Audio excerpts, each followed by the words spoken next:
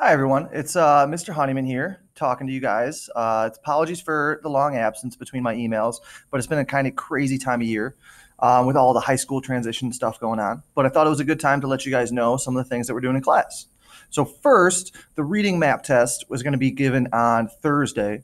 Uh, it's a great idea to always make sure your kids get a full night's sleep and some food before they take any of those high stakes tests like that. Um, this map test is going to be one of the pieces that um, places the kids into classes next year for high school. Um, so whether they're going to honors or the on level classes, for example, um, that along with the last week we did a high school writing sample test that we got from the high school kids. I think crushed it from what I've seen on their writing.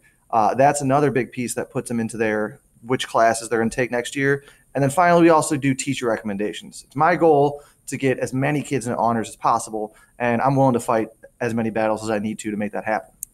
Um, so, secondly, I want to tell you guys what we're doing in class right now. We're in the middle of our second big literature unit called The Power of Fear.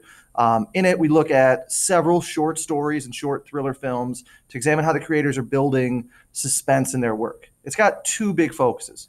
First, we kind of do literary essays where we examine how the authors are building suspense um, and then write paragraphs or long or, or a couple paragraphs to kind of explain our thinking. And then second, the kids make their own suspense stories. Next week, we're going to start drafting them um, and hopefully have like a polished draft to turn in before break. Then after winter break, the kids are going to get into groups and um, choose a story to kind of try and film together. Um, and it's the end products are really, really awesome pieces. Um, but this is such a great unit with tons of writing and reading. We do the Telltale Heart, we do the Monkey's Paw, we do the Landlady, and my favorite, we end the unit with Ray Bradbury's The Whole Town is Sleeping. Any of those can be found really easily with a quick Google search.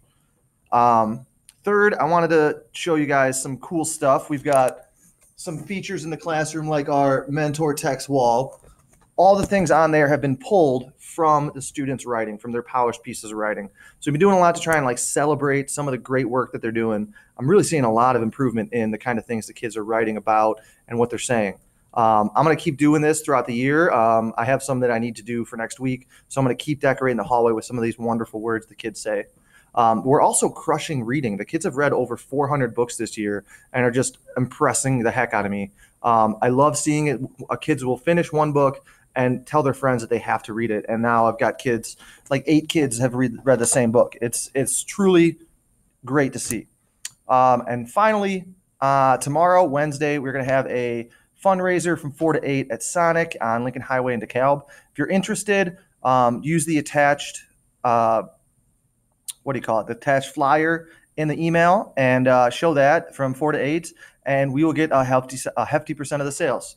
Um, of course, if you didn't want to, some families have said they don't want to participate in the fundraising or the um, like buying things, but they're happy to donate money if they want. If you would prefer to do that, please feel free. Just uh, send the checks over to me, make them out to HMS if you are interested. As always, guys, my door is is open. Um, transition to the high school and this time of year can be really stressful for the kids and for the families too, especially if you've never done it. So if you have any questions, please feel free to give me a call or shoot me an email um, and we I will be to happy to answer any of your questions. Um, awesome. So have a wonderful life, guys. We'll see you.